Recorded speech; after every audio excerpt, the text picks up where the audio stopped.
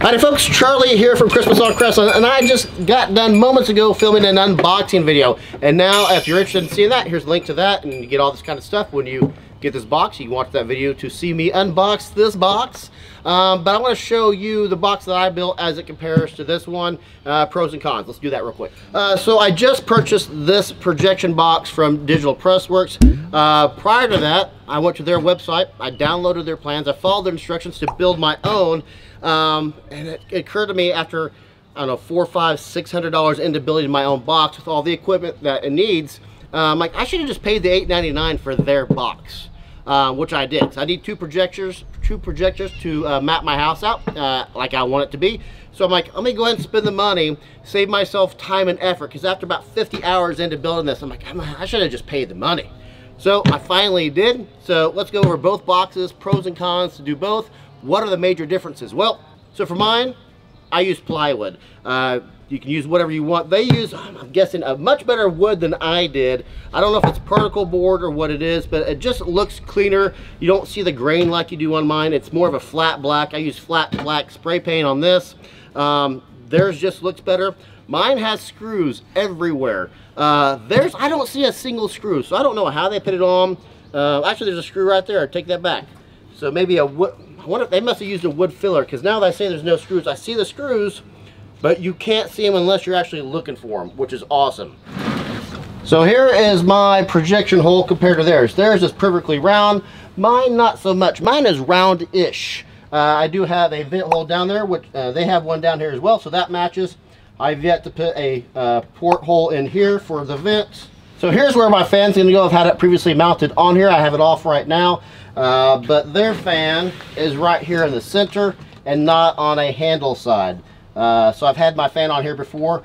Theirs is centered, mine is off centered. On this side, I do not have a hole cut yet for a speaker yet, but I do have the vent cover here. I just haven't, like they have there. So I currently have my door cover completely off. I've not added the hinges yet. I wanted to see their hinge box first to see what kind of hinges they used. Um, they already have the speakers mounted. They have theirs firmly in place. I believe mine, yeah, mine is removable. So yeah, this is pretty similar on the interior. I don't see anything. I don't see anything majorly different on the interior, so I think I nailed that correctly. Um, I was noticing they have not used any weatherproofing or any caulking or anything on theirs. Uh, I have a gap on some of my edges, so I will be using that on mine. So I still have, probably have about another 10 hours or so of work on this box. Their box is just pretty. Mine looks a little bastardized, and that's all right. Um, we'll get it there. It's going to be functional. It's going to be fine. It's going to be weatherproof. We'll get it there. Theirs is just neat. Uh, if you, my motivation for buying this again, I was 40, 50 hours into labor on this. I had to go buy tools. I didn't have all the right tools for this. I had to buy tools. That was an extra cost. Um, $899. I got about 600 in this already, including all the parts, parts that it comes with, that this comes with for free. Well, not free, you pay for it. But all the parts that this automatically just comes with. Here you go. There's no need to shop. We're just going to give it to you. Um, this does not have all that, and I had to buy all that plus the tools. So about 600 in this box already. 899 for this. They do all the work. It's prettier. It's neater. It does come with the earth anchors as well. I've not yet purchased earth anchors for this yet, so that's going to be another added expense. I already have the speakers and everything else that goes with it.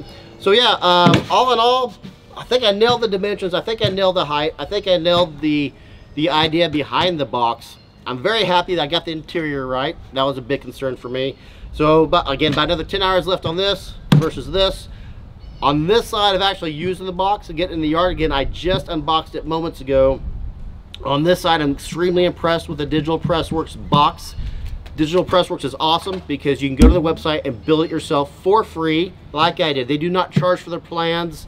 Just here you go, world do it yourself for free. Or if you don't want to do that, you don't want to take the time, you can hire us to do it. We'll do it for you. It takes about two weeks. Also, it comes with two free projection films. Uh, Christmas, Halloween, 4th of July, whatever you want to do. Uh, it comes with two free films. They sell theirs for $100, $200.